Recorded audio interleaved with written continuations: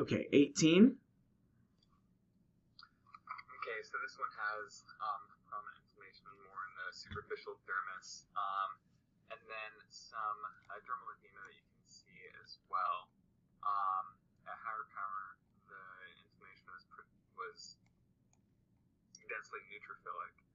Um, so I was thinking sweets for this one.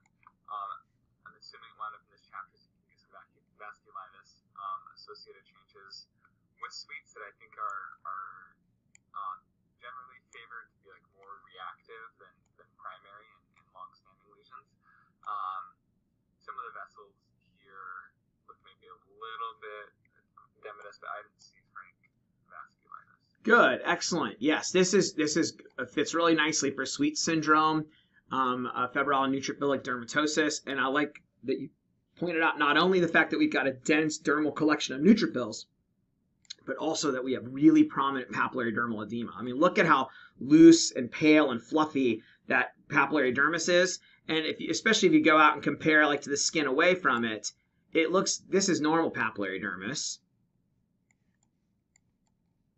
This is edematous papillary dermis. It really get you know, as you guys know, these are like very edematous, juicy, uh, reddish, you know, lesions clinically, and the reason they have that puffy, juicy look is from all that edema.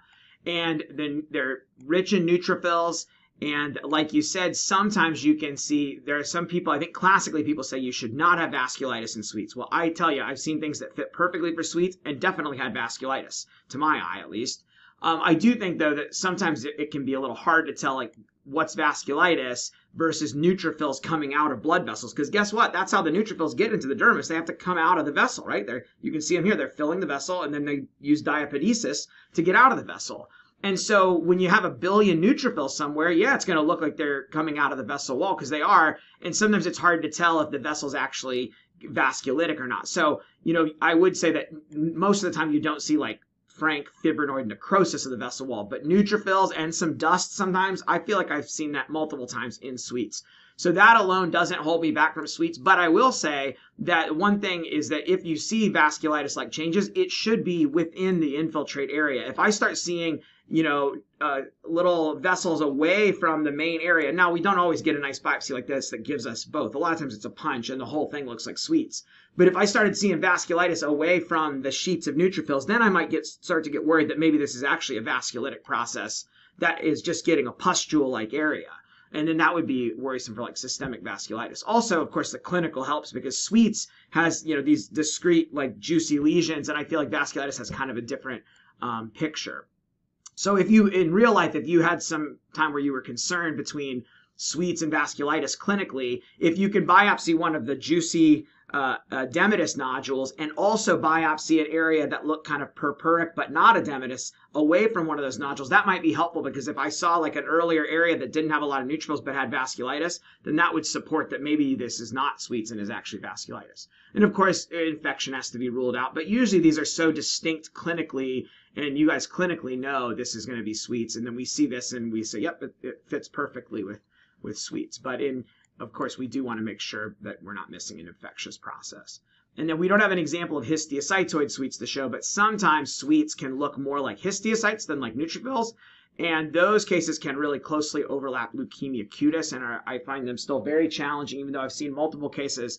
Those are real tricky, but we don't have one to show here today. But um, just to, the best way to conceptualize that, though, if you struggle to understand histiocytoid sweets, and I, I think I did for a long time, the way that it finally made the most sense to me is there are not they are not probably histiocytes. They are actually neutrophils. They're just a little bit younger neutrophils. They're left shifted. So instead of having the well-developed multi-lobated nuclei, they look more like a single nucleus um, like a band would, um, or a seg, you know, one of those kind of uh, left shift neutrophils. And so that's they look and they stain like neutrophils, but they look kind of like histiocytes because they're not as as fully developed.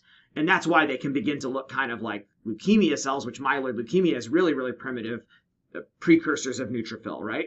So that's where the overlap can come because the staining can be very similar, the look can be similar, and usually if I'm going to make a diagnosis of histiocytoid sweets, I'm going to tell you guys to do a CBC and watch the patient closely because I'm always worried about subtle leukemia cutis mimicking histiocytoid sweets. So And I think that's a good a good general rule. If you get a diagnosis of histiocytoid sweets, keep a close eye on that patient. Okay, if it responds like sweets and their CBC is doesn't have blasts, that's really good and reassuring. But just keep a close eye on them. Okay, just feel like that's a, a safe way to do things.